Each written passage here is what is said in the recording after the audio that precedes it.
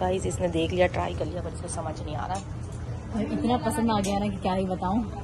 हाँ, यार ये वाला भी प्यारा लगता है